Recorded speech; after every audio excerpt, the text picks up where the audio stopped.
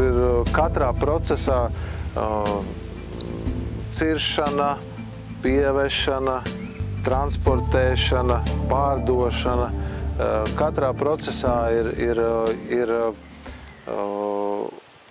atsevišķa datu plūsma, pēc kā mēs īstenībā varam visā, visā tanī, tanī posmā, sākot no tā, ka tas koks tādā mežā tiek nocirsts līdz tam brīdim, kamēr varbūt viņš jau tiek pārstrādāts un varbūt pārdots jau kā krēsls, ka pēc būtības mēs par katru, nu, ja mēs viņus marķētu, mēs, mēs par katru no šiem kokiem, par ši, katru šo, šo baļķi mēs varētu izstāstīt, jo viņi, viņi teiksim, šī sistēma atļauj mums izsekot tam baļķa ceļam no, no, no, no tā, tā brīža, ka viņš ir nocirsts un līdz tam brīdim, kamēr viņš varbūt ir pārvērties mēbelēs. Mūsu mērķis ir, ir izaudzēt šādu koku, kurš, kurš tiks aizvests uz zāģētavu, no tā tiks saražots augstsvērtīgi zāģu materiāli, mēbeles un vēl daudz kas.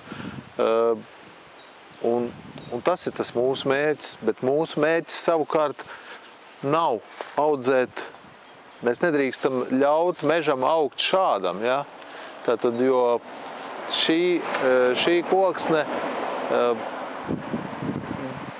viņa, viņas, viņas mērķis šajā gadījumā ir, ir papīra ražošana. Bet tas, tam ir jābūt tikai kā pakārtotam, ka tomēr galvenais mērķis ir saražot kvalitatīvu zāģējumu koksni. Kā varam redzēt, ja iekrāsotie koki, tā ir cirsmas robeža. Un te var redzēt, ja kad ir izgājis jau cilvēks ar roku zāģi, ja kas ir atzāģējis tos, kā saka, nelikvīdu. Un lai, lai pēc tam harvesteru mašīnai ir vieglāk paņemt kokus, lai viņš nu, nepinās. Un tas arī, kad gāžot kokus, viņi salauž tos mazos. Uzsākot darbu, mašīnā tiek sagatavota cenu lapa, lai traktors automātiski izzāģētu maksimāli vērtīgāko koksni. Šeit ir saražoti apmēram 15 sortimenti. Un šis ir jau pievedēja traktors. Ja. Pievedēja traktors, kas šos 15 dažādākos sortimentus ja, lasa augšā, ko ir sagatavojis harvester mašīna, un ved uz augšgalu krautuvi. Tagad mēs esam augšgalu krautuvē kur no ciršanas vietas pievedēja traktors ved ārā visus tos sortimentus ja, un krauja attiecīgi pa sortimentu veidiem. Pie katra sortimenta tiek piespraustas marķējumās lapas, kur ir norādīta ciršanas vieta, ciršanas kodi visi, ja, plus piegādes ķēdes galapunkts, uz kurien tas koks niet. Un tas, tas viss process, ir, ko mēs no sākuma skatījāmies, tas ir saistās tieši tikai ar koku ciršanu, ja, bet notiek jau ļoti daudz citi pasākumi.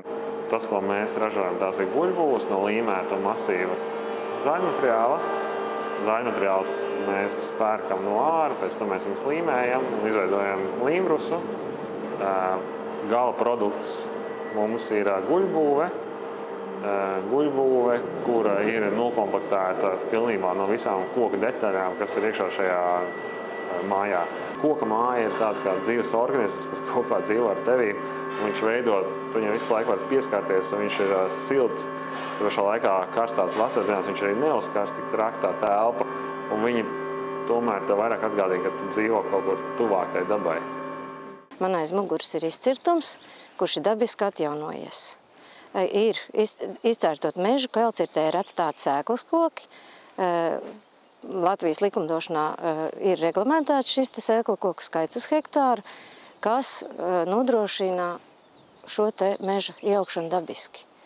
Un nav pamats bažām, kad mežs tiek izcirsts un netiek atjaunots, vai, vai tas ir, tas, protams, ir ilgstošs process, jā, līdz šai te pieaugušai audzē, bet tas ir dabiski, jo mežam šie te gadi ir simts gadi, kad priedi ir gatava, lai šo te ražu novāktu. Ja skatās globāli, tad eh, ir izvērtēta tā ciršanas intensitāte, ja, ar kādu mēs apsaimniekojam mūsu Latvijas mežus, tie ir 70% tikai no visas krājas, ikgadējā krājas pieauguma. Ja? Tātad mēs ne tuvu nesasniedzam to uh, ciršanas apjomu, kādā uh, apjomā uh, koksnes krāja mums gadā pieaug.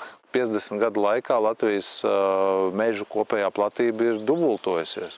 Šī meža likumdošana uz doto brīdi, kā jau teicu, stingri ierobežo to, kādā vecumā kādas audzes ir atļauts nocirst.